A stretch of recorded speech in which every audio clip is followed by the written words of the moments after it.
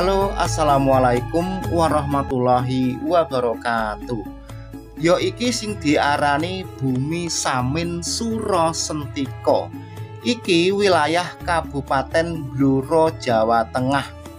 Wilayah Kabupaten Bluro kuwi sakulone wilayah Bojonegoro. Umpama sangka Ngawi kuwi ngalor 12 umpama eneng dalane ngalor persis dadi wilayah Bluro kuwi sak lore sak kulone Bojonegoro, sak kidule Lasem Rembang. Terus apa to sing diarani Samin utawa Jawa Samin? Sejatine Samin utawa Jawa Samin kuwi dudu suku. Nanging sing diarani Samin kuwi budaya utawa semacam pawulangan.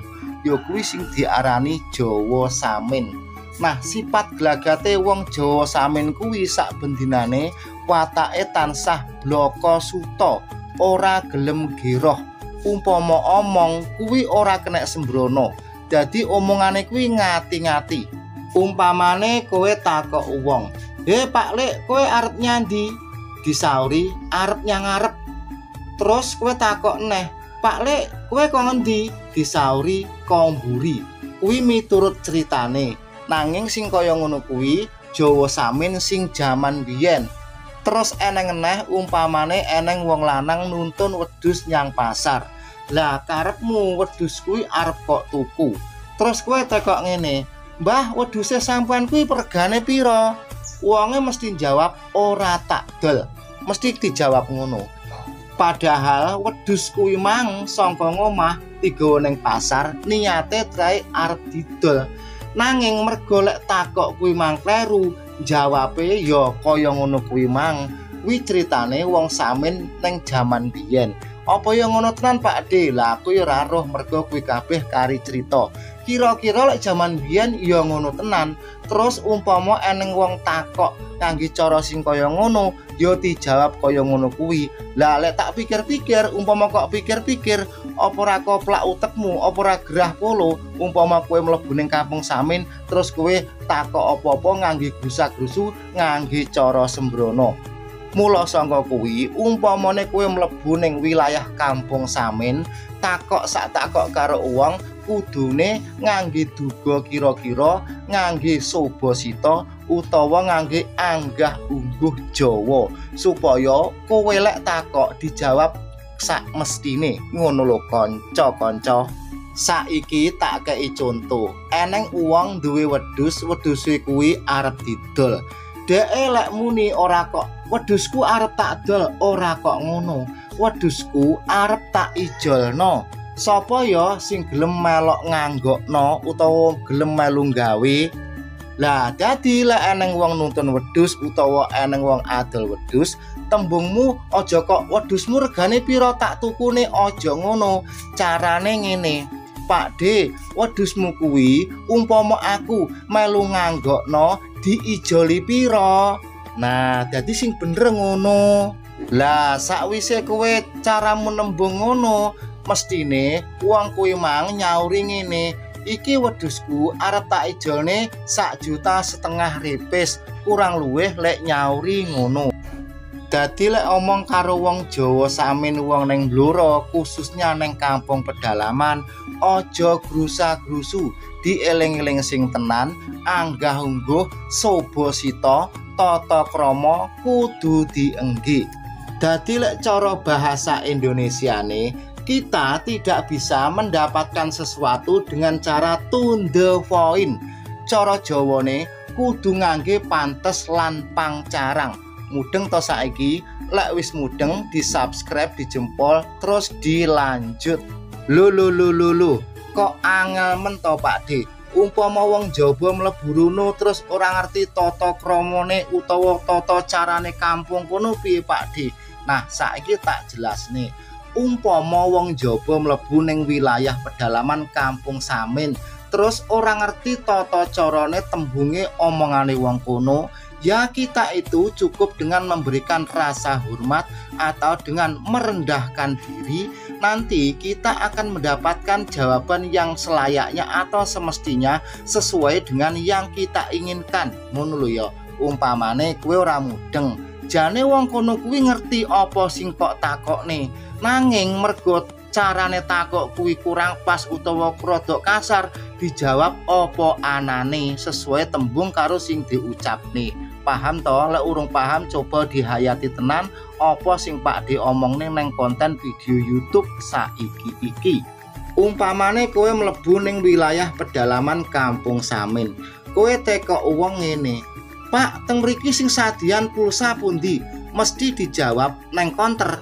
Terus umpamane neh kowe teko Pak mriki sing sadian ses utawi udut pundi? Mesti dijawab neng toko. Tapi saora-orane umpama lek mutakok kuwi ngangge pangcarang umpamane ngene nyuwun sewu nggih Pak badhe nderek tanglet. Teng mriki sing sadian pulsa teng pundi nggih nyuwun sewu nggih Pak. Kula badhe nderek tanglet. Kula punika tiang tebih.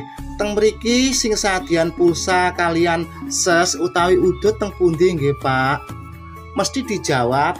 Oh teng mriko Mas. Teng perapatan iku ngilen sekedhik dadi senadyan to awake dhewe kuwi tekok tembunge kleru nanging mergo wis ngangge cara asor anggah ungguh ya mesti dijawab sak mestine.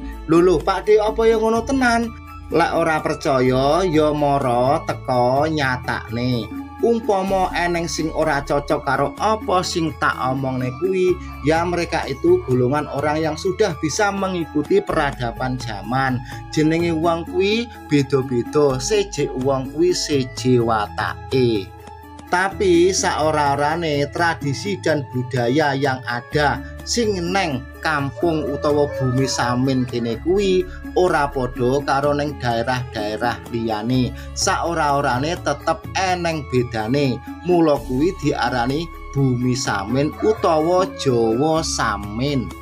Terus sing diarani ajaran utawa pawulangan samin kuwi ora kok sak kabupaten Blora kuwi samin kabeh kuwi ora sebagian tok. Pusat ajaran budaya samin sing neng kabupaten Blora kuwi neng kecamatan Klopo Dhuwur terus sing neng Bojonegoro neng desa Jepang kecamatan Margomulyo.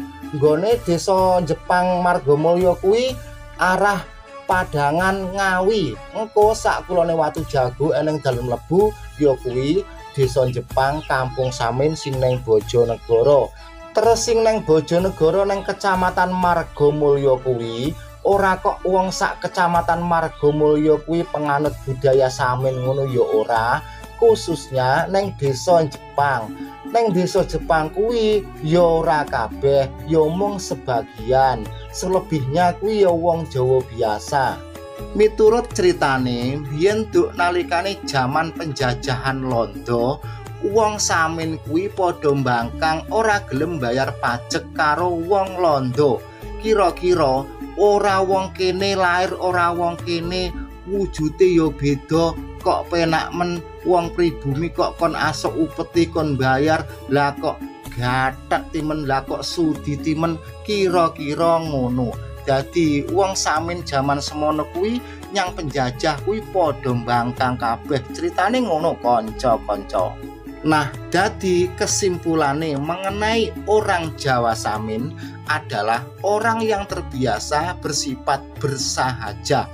Coro Jawane wong bloko suto.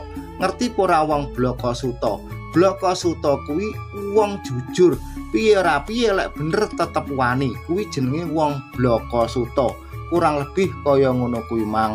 Umpama Pak Dik lek jelasne kuwi eneng klera klerune aja kurang pangapura tapi saurungi video iki diunggah utawa konten video YouTube iki dipublikasikan Pak Dewis mempelajari betul dan banyak mereferensikan mereferensikan di kawasan tersebut. Ada kurang lebihnya, mohon maaf yang sebenar-benarnya. Saya berusaha ingin memberikan edukasi yang sesuai dengan kenyataan. Salam sehat untuk semuanya.